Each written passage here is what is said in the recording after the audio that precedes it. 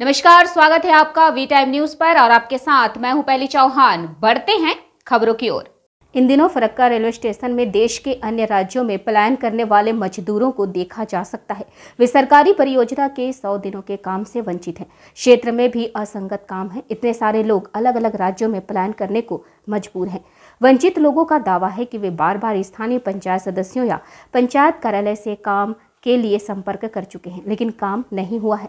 नेताओं ने सौ दिन काम देने का वादा किया है, लेकिन उन्होंने अपना वादा नहीं निभाया।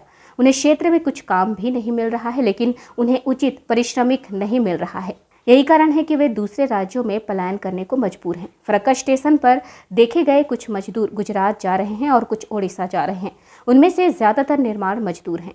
वाइन स्टेट में काम करने गए मजदूरों ने शिकायत की कि अगर इस क्षेत्र में काम होता या अगर उन्हें सरकारी परियोजना का सौ दिन का काम ठीक से मिल जाता तो उन्हें अपने परिवार को छोड़कर वाइन स्टेट में नहीं जाना पड़ता। उड़ीसा थे हाँ। है?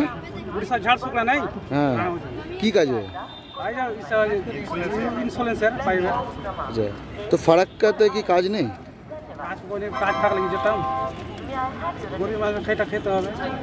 সেটা তো আছে। তোমরা একশো দিনের কাজ পাওনি? একশো দিনের কাজ কই? আগে হয়েছিল এখানে আর হয় না। আগে বলতে কবে হয়? কবে হয়েছিল? তোমার দু তিন বছরে হয়েছিল আর এখন হয় না শেষ। ওই কাজ পাওয়া যায় না। একশো দিনের কাজের জন্য কি চেষ্টা করেছিলে? প্রশাসনকে বলেছিল একশো দিন কাজ দেওয়ার জন্য? চেষ্টা করেও হয়নি। ওরা বলছে দেখছি দেখছি। পাচ্ছ না। হয়েছে না। তো কাজে তোমার বাইরে এখানে কাজ পেলে তো গায়ের লোক লাই না। তো বাইরেকার লিয়ে আসছে? বাইরে নিয়ে হ্যাঁ বাইরেকার লিয়ে আসছে এখানকার লাই না।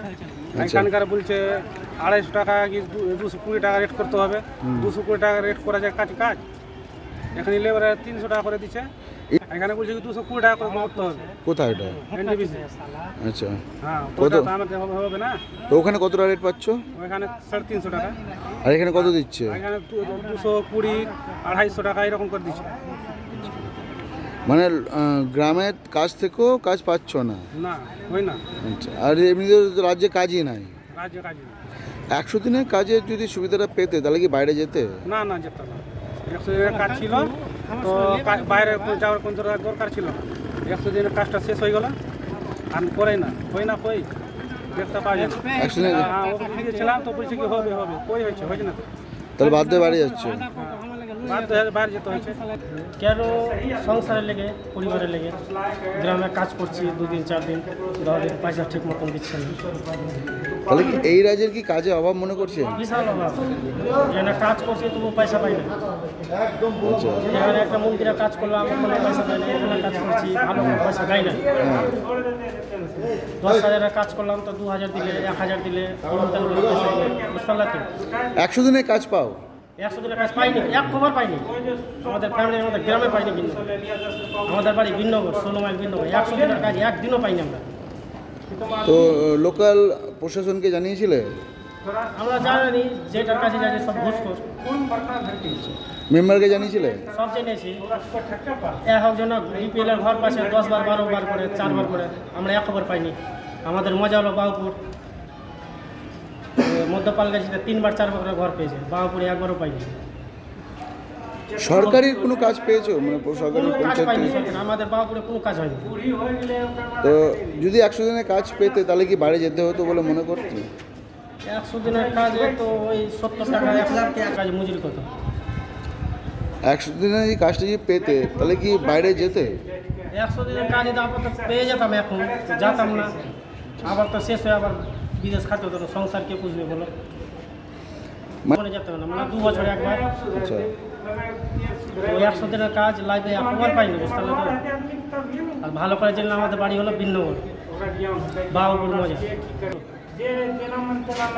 পরিবারে কত হ্যাঁ? পরিবারে কতজন রয়েছে? আমার তিনটে ছেলে দুটা বেটা একটা বেটি একটা বউ। তিনটে ছেলেকে রেখে যাচ্ছ? কি চাইছো এখন? যে রাজ্যে কলকারখানা হোক। রাজ্যে কলকাতা হোক ভালো হোক সবাই কাজ করবে দুটা চারটা বাকি। একশোটার মধ্যে বিশটাও যদি কাজ করে তো খুবই ভালো হবে। হ্যাঁ এটা তো সবাই চাইছে বুঝতে পারলে কিনা কে করে দিবে বলো? হচ্ছে না। করছে না। তো অনেক অসুবিধায় বাড়ি যেতে হচ্ছে অনেক কষ্ট রেখে বাড়ি যেতে হচ্ছে। বিদেশে প্রচুর কষ্ট দাদা প্রচুর কষ্ট। ঠ্যাং তুলে শুতে হচ্ছে বুঝতে পারলা কি নদী